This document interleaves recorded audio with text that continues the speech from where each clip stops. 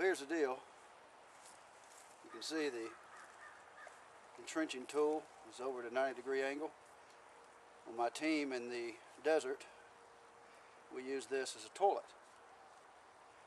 Um, when you've got your gear on, uh, you want to be able to stretch out a little bit, keep your clothes down here, which you know uh, from getting splatter.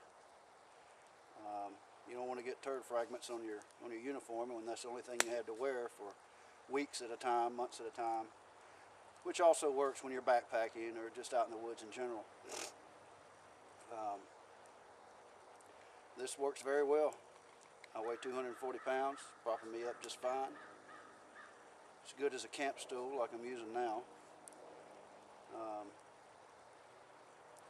gives you three points of contact, and um, remembered it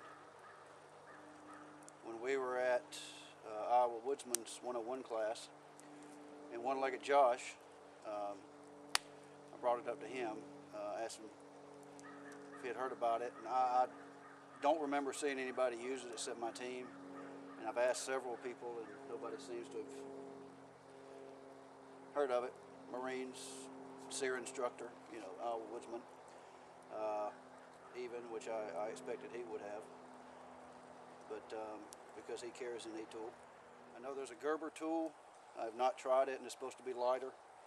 Um, you know, if it'll hold up to the same thing this will, that's fine. But um,